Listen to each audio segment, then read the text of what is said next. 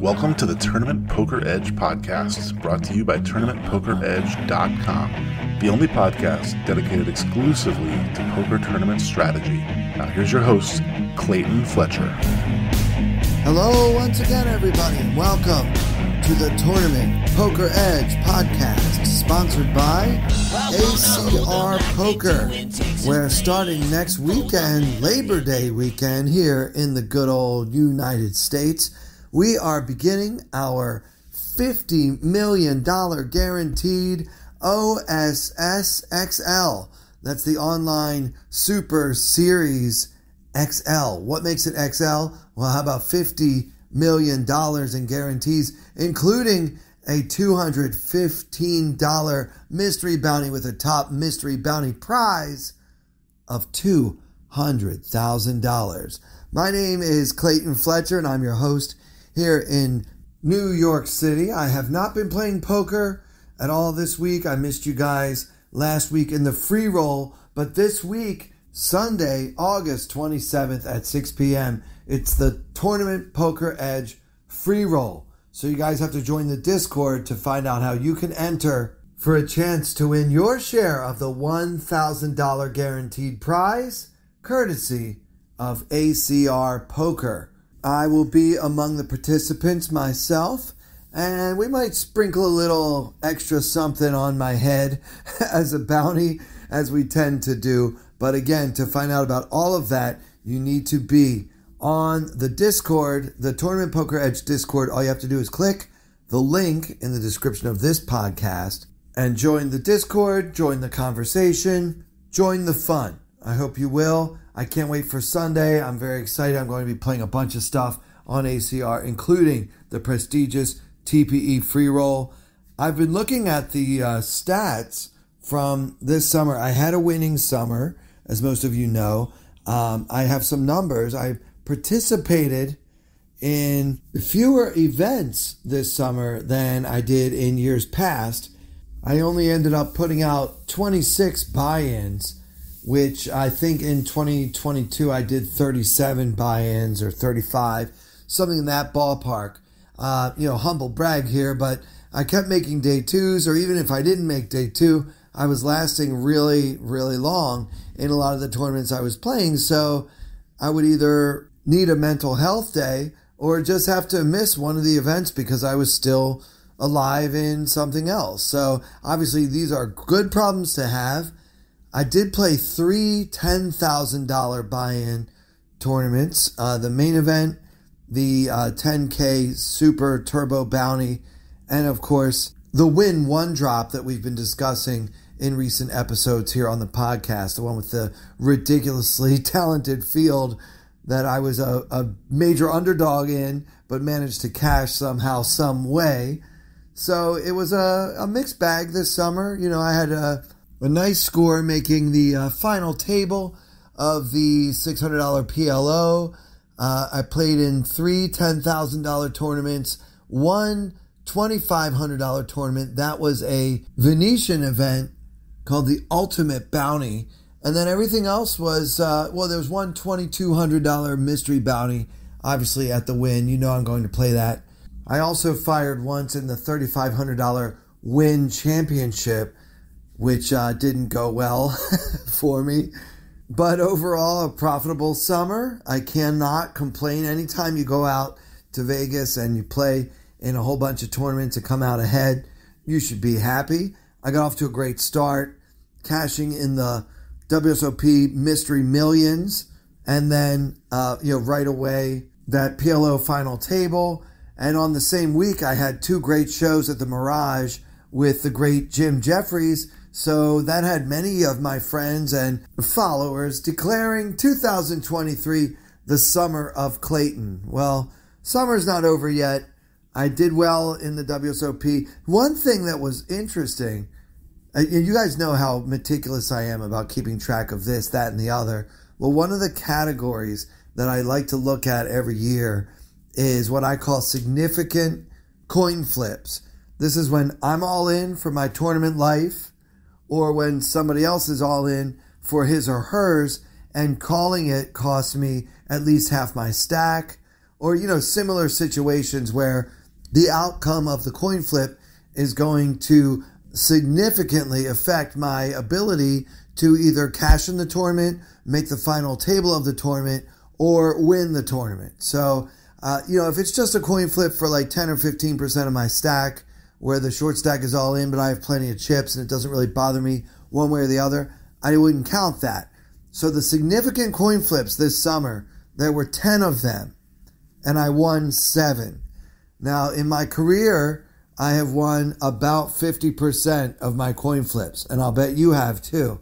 So, uh, one reason why I maybe did well this summer was because I had, you know, at least that type of variance was on my side.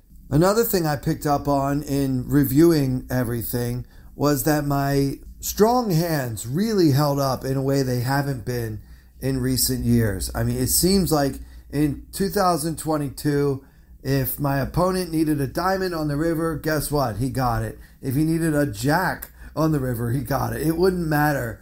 I just couldn't get any of my strong hands to hold up last summer. And you know, when you're looking at just one summer's worth of tournaments, look, I'm talking about 26 buy ins here. And that for many of us is just a typical online Sunday. It just happens to be spread out over a six or seven week period. So every single outcome means more. But really, obviously, anybody can go seven for 10 in coin flips or even zero for 10 in coin flips. All this to say, one thing I like to do in the weeks that follow the World Series of Poker is kind of decompress and then look objectively at how much of this was luck, either going my way or not going my way, how much of the variance was on my side or not on my side. Did my good hands hold up? Did I happen to suck out more than usual? Like, for example, in that PLO tournament, I could literally do no wrong. I literally made so many nut flushes, nut straights, full houses, top full houses. And the best feeling in PLO is being able to say, I don't care what four cards my opponent is holding. I know for a fact I have him right now. it's kind of rare because Omaha is a pretty wild game. But yeah, that seemed to be happening a lot. And it was pretty smooth sailing throughout my deep run. I did I did take a few bad beats obviously this summer. You're not going to play that many tournaments without anything bad happening.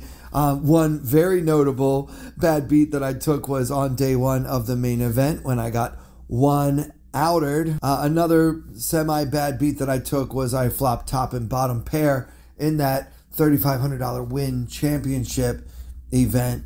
And I lost to pocket aces because the middle card paired counterfeiting my two pair I mean, of course, variance didn't stay on my side every single tournament, every single day. What am I, Chance Kornuth? I mean, I can't do that. But my good hands held up. My big pairs won small to medium pots. And I wasn't just taking bad beats left and right, all up and down. And I think this is important, even for all these years I've been playing poker. I think it's important to kind of look at that once in a while. Am I playing great or just running hot? Or am I playing terribly or just running really bad? To keep everything nice and clear in my own head, I like to keep everything logged. So I take copious notes on my phone, uh, and during breaks, I speak into my voice recorder. Whatever system works for you, pad and paper, if you're old school, it doesn't matter. But I do think it can be very useful in live poker to log our variance. So, uh, yeah, moving on, I want to talk today about another tournament I played at the Wynn. I actually ended up playing quite a few tournaments at the Wynn. You guys know how I feel about the Wynn. They are not a sponsor of this podcast. I've never received a dime from their marketing department or anything, so uh, they're not paying me to say this. I just believe in recognizing excellence, and I really love the way they do things at that property, and especially on the days when my options were play something at the Wynn or play a tournament at the I almost said the Rio. It's going to take me a year or two to not say Rio. I'm still in that Rio every time I'm about to mention the World Series. I should say the Horseshoe, right? Do I want to play at the Wynn or do I want to go to the Horseshoe where I might have to stand in line for 2 hours and then sit 10-handed, which is typically miserable. I mean, I did have some fun obviously playing at the Horseshoe this summer, but from an experience standpoint, I'll take the Wynn every time. And that's why I'm also leaning towards uh, this December. We spoke a while back on this podcast. I'm going to go on a little tangent here, but they're doing that Paradise WSOP thing in the Bahamas in December. And as much as I'd love to get out of the city and out of the cold of New York in December and enjoy some beach time in the Bahamas, at this point, I might change my mind later, but at this point, I'm, I'm leaning towards spending my December in the same place as I spent much of it last year, the Wynn Resort Las Vegas. So this tournament was a $1,600 buy in with a $1 million guarantee. At this point in the tournament, there were 280 players remaining in my starting flight, and let's see, 120 players would eventually be paid. So we were a long way from being in the money and a long way from day two, but still several hours into the event where the blinds are now 2,000 and 3,000 with a 3,000 big blind ante. I think you start this tournament with 40K in chips. We've run it up to 135 and the average is 117. A player in middle position who's been at my table all day opens to 7K. Again, the blinds are 2K and 3K. And he's got about 100,000 in his stack, so he's doing just fine with a stack that is slightly below average. I'm on the button with the Queen of Diamonds, Jack of Diamonds. So we've got about 45 big blinds and an M of right around 17. We've got suited Broadways on the button. He opened from third position, so middle, middle, early middle position, and we are on the button with the queen jack suited. I mean, if you want to fold, you can fold. You can avoid uh, being in a situation where you're dominated, like your opponent has ace jack or king queen, something like that. Uh, you know, if you flop top pair versus a hand like that, you can end up getting yourself into a lot of trouble. And there's no rule that says you have to call. I mean, you guys know I'm going to play the hand, not only because I'm discussing it on the podcast, but also because you guys know I typically like to play a lot of hands in position, and it doesn't get better than the button.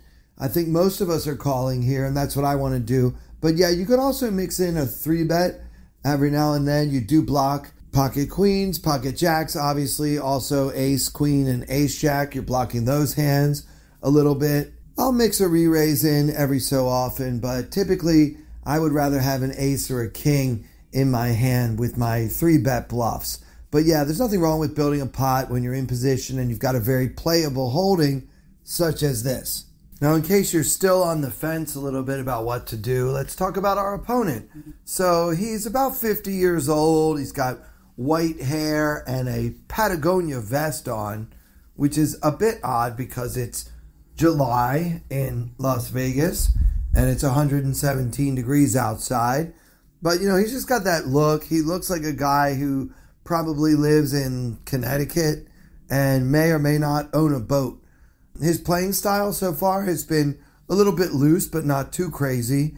And I've been with him for several hours. I haven't really seen him do anything like a three bet bluff or a light four bet or any of those off the wall kind of strategies. So I've kind of got him down as a uh, vacationing, uh, semi wealthy, middle aged amateur who has played a decent amount of poker in his day. So that's kind of the read there if that affects your decision.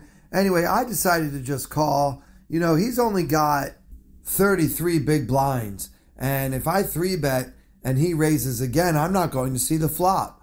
So that's pretty bad news with a hand like Queen Jack suited. So I'd rather just avoid that issue altogether. Even though I think it's unlikely he would do that as a bluff, he might do it with a hand like pocket tens or ace king. And as a result, I'll be throwing away a hand with decent equity pretty often when I could have just called and seen the flop in position. And that's what I did. I called and then the blinds folded. So we're going to be heads up with this guy who looks like he probably has a credit account at Brooks Brothers. And the flop comes King of Diamonds, Six of Diamonds, Deuce of clubs. So king six deuce with two diamonds, hero again with the Queen of Diamonds, Jack of Diamonds. And now, with 22,000 in the middle, my opponent, who has now 93,000 behind, so an SPR of around 4.3 ish, he decides to C bet for 10K into the 22K pot. Now, that's a pretty large C bet by today's standards, but I don't think that this gentleman is necessarily watching the latest training videos and realizing that he needn't bet so big when he C bets. So, what do you want to do here with the flush draw? Uh, we've also got a backdoor royal flush draw that bears mentioning. I think it bears mentioning that catching perfect and hitting the royal is certainly in play. All right, don't lose sight of that. So, do we want to raise the $10,000 bet or uh, 10,000 chip bet, I should say? I'm picturing his uh, unlimited credit account at Brooks Brothers, and I started thinking about the dollars all of a sudden. No, it's tournament chips. He bets 10K. Do you want to call or raise? I don't think anyone's really considering folding. I mean, look, if we call pre flop with this hand and we flop a flush draw, we're not going to go out just for one bet on the flop, even if it is a slightly larger than average by today's standards C bet. So uh, I can see a case for raising if we raise, we got to go with it. And sometimes we're going to be up against like ace king, pocket aces, um, the nightmare, better flush draw. That would be brutal. Um, pocket kings for three of a kind, certainly not a lot of fun. But yeah, I feel like if we, if, you know, we're just getting too committed. If he bets 10,000 of his remaining 93,000 and we raise, like any reasonable raise, is going to basically commit us to this pot because again, so much of his shoving range, we actually have decent equity. So I personally am not in raise fold mode at this point. So if I raise, I have to go with it if he shoves. Uh, but what would we do if we raise and then he calls and then the turn breaks off and he checks? I mean, are we just planning to shove any turn card or are we planning to shut down and try to hit a flush? See, that's where things get a little hairy when your opponent has an SPR of between four and six, let's say. It's a little too big to really be happy getting all in on the flop, but it's a it's also a little too small to really get away from a lot of hands in spots like this one. So for all those reasons, I decided to just play this one slow, just call. You know, you don't have to semi bluff every single time you flop a flush draw. And this one just felt like a spot where I could probably do more keeping things small for now in position than I could if I started raising when we're just not that deep to be going too crazy. So anyway, I just called and now with 42,000 in the middle, the turn comes the 8 of clubs. So our board is now king of diamonds, 6 of diamonds, deuce of clubs, 8 of clubs. King 6, deuce 8 with two diamonds and two clubs, hero with the queen of diamonds, jack of diamonds, and now our opponent once again bets on this card. He bets 15k into the 42k pot, and the action is on hero. And before I tell you what I did, I want to just point out that I was very surprised to see my opponent bet again on the turn. I thought that he should probably be pot controlling with most of his range, given his stack size and SPR concerns, if you will. In other words, what the heck does this bet mean? Like, does he have pocket aces? If he does, then he probably won't be too excited if I go all in, but I also don't expect him to fold that hand either. Does he have a king every time? I mean, it's kind of the same difference, right? If he's got top pair, he probably can't get away from it, having put in this much of his stack already. But at the same time, he shouldn't be too thrilled about getting some pushback from me in this situation. So, yeah, I thought this was an odd bet. And I thought that if he does want to bet the turn, suppose he does have a hand like ace king that he's just decided he's never folding, pocket aces, or monster like pocket kings or whatever. Like, he should be betting more on the turn. Why so small? I mean, he's only betting 15 into 42 which is especially odd given his stack size. I didn't really know what to make of it, but I wasn't sure what was going on, and I also knew that my opponent is very likely to be an amateur weekend warrior type, and it could just be that he doesn't know what else to do, and maybe he didn't want to give up the lead in the hand. So instead of checking to me, he just bet small. I mean, you do see players with weaker fundamentals doing this sort of thing. They're just afraid to check because they're afraid they're going to have to face a bet. They'd rather make a small bet than face a big one. And that's fine and all, but many times if you're feeling that way, it's still better to check and evaluate. Just because he checks doesn't mean I'm going to bet, right? I mean, I don't even know what I would have done had he checked. I would have based it on my read and whether I thought he was checking a strong hand or a medium strength hand or a weak one. But yeah, I mean, I don't have to bet just because he checks. Don't be afraid to check if the pot is already uncomfortably big for the strength of your hand. But anyway, he bet 15,000 and I opted to just call because I wasn't sure exactly what the heck was going on here. Anyway, at that point, the pot was 72,000 and the river came the tray of hearts for a final board of king 6 deuce 8 tray with two diamonds and two clubs, so no flush came in. No straight came in either, except for the unlikely 5 4 uh, if he has 5 4, he played it in a very peculiar way, especially betting that turn when he didn't improve. Anyway, uh, it's tough to know what's going on when my opponent checks this river. I mean, I have a decision to make here. Does he have a king? And if he does have a king, can I get him off of it? Does he have a hand like pocket nines, pocket tens, pocket jacks, pocket queens? I mean, I do feel like that's a pretty big part of his range right? Maybe it's a little ambitious betting again on the turn with those hands, but again, if he did that just to try to keep the lead in the hand, that does sort of make sense. But then when I call again on 4th Street, he has to wonder what I'm calling with twice, right? Even though his turn bet was pretty small, he still made one. And really, am I going to keep calling a bunch of bets without at least a pair of kings? I mean, I guess the only other hand I should be calling two bets with is a flush draw, exactly like the one I have, I suppose.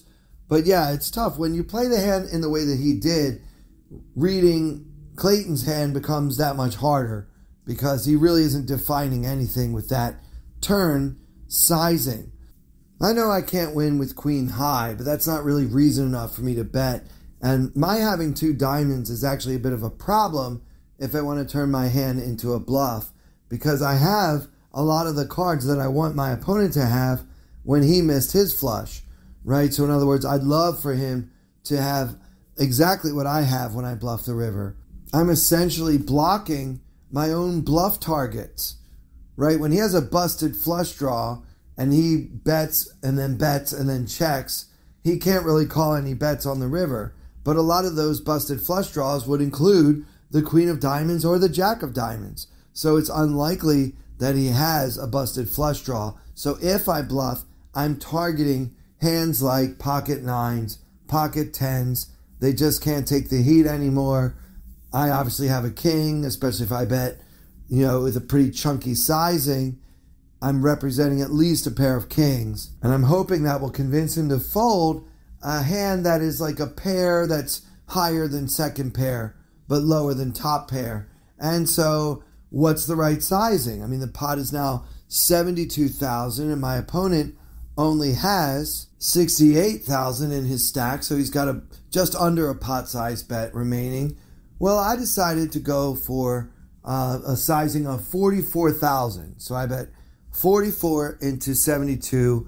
I know that shoving is probably going to get the job done a lot, but I actually felt like this looked stronger and cost me less when he is getting tricky with a hand like Pocket Kings. I mean, look, you don't really see it that much. Typically, players on this kind of stack will just bet, bet, bet when they flop a monster, but you do see it, so it's not out of the realm of possibility. And I just didn't know if betting 68,000 is going to do that much more than what betting 44,000 would do. And, you know, at the end of the day, the bottom line here is that if I actually had like a 5 4 somehow, or if I had slow played a flop set myself, I would be betting an amount that I really think my opponent can call. And I do that. I do bet enough to give the guy a few chips behind just in case he calls and loses. So I need to do that sometimes with my bluffs, and this felt like a good spot to do that. So I bet 44,000 and almost immediately my opponent called and turned over ace 5. So he had the ace of diamonds, important card there, ace of diamonds, 5 of spades for no pair and he wins this very substantial pot with just ace high. So now reviewing the hand, I think that uh, I don't like the way my opponent played any street, even though obviously it worked out quite well for him. But yeah, I think that when you see bet on the flop, especially such a you know relatively dry flop, king six deuce with two diamonds, I don't think you need to bet so much. He probably could do the same thing for like six or seven thousand that he did for 10,000. And then once I call on the turn, I think it's okay to go ahead and check fold rather than betting 15,000 with just ace 5. He has no pair and no draw at that point. So it's okay to just give up on a hand now and then.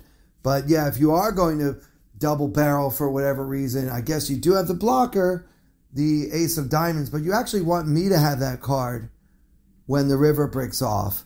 So the fact that he's holding the ace of diamonds makes this bluff catch with ace five that much worse to me. I mean, you want me to have that ace of diamonds. You don't want to have it yourself. You want to think about the cards that you're holding and how those cards interact with your opponent's range. And in this case, I think he should have just given up. But, you know, he did, you know, give him credit. He made the hero call in the river. Maybe he looked into my eyes and read deep into my soul and just knew that ace five was worth putting in two thirds of his remaining stack. And that'll do it for this episode. Guys, I really appreciate those of you who have taken the time to rate and review the podcast. It means so much. Get in the Discord, sign up for the TPE Discord, and then join us this Sunday at 6 p.m. Eastern Time. That's New York City time for the Tournament Poker Edge free roll, a $1,000 free roll extravaganza courtesy of ACR Poker. And for everyone here at Tournament Poker Edge, and with thanks as always to our sponsor, ACR Poker. I'm Clayton Fletcher. Thank you so much for listening. I wanna hold them like they do in Texas. Fold them, let them hit me, raise it, baby, stay with me. Luck and intuition, play the cards with babes to start. And after she's been hooked, I'll play the one that's on her heart.